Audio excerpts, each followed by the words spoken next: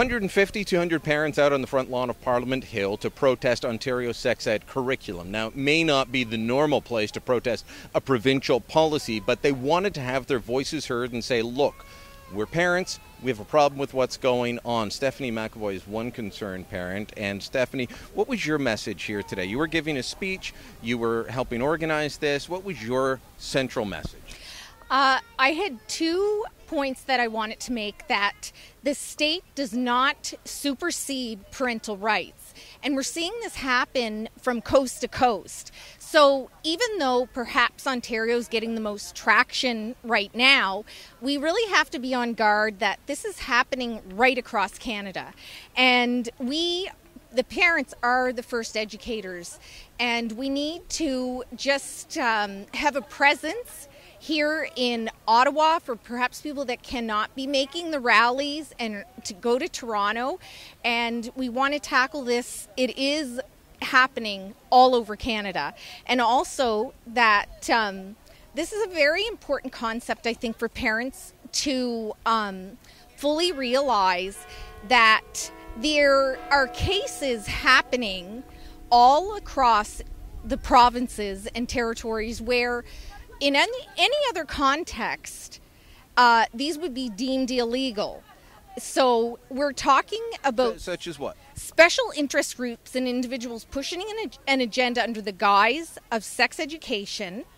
And do you really want your Girl Scout, your Brownie leader, camp counselor, or Sunday school teacher giving your child a pamphlet about bondage?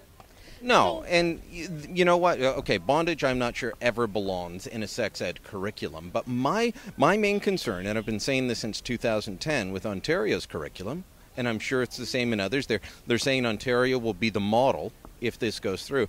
Is that so much of the material is age inappropriate? They they've taken it from maybe a, a grade 10 level and moved it down to grade seven, and from grade seven down to grade three, and they're pushing it younger and younger.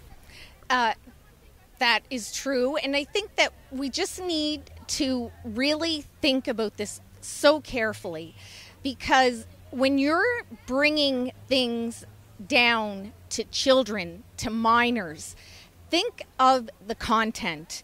Think what would exactly what I said in any other situation, this would be criminal.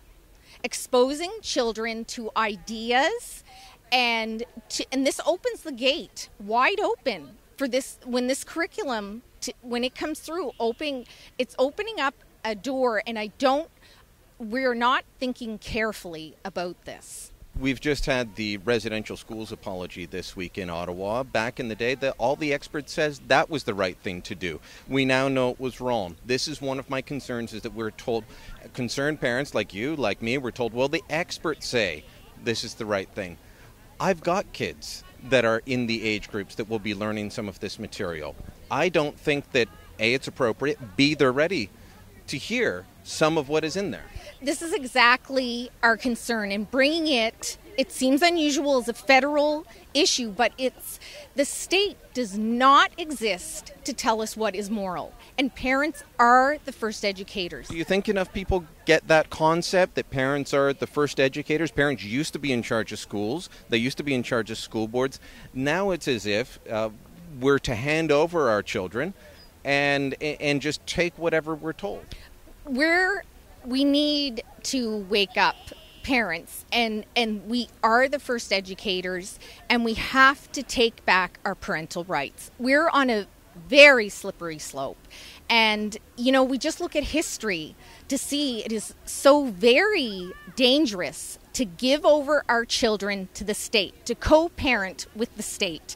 We need to just be very on guard, stand on guard for Canada, for our kids, and for our grandchildren.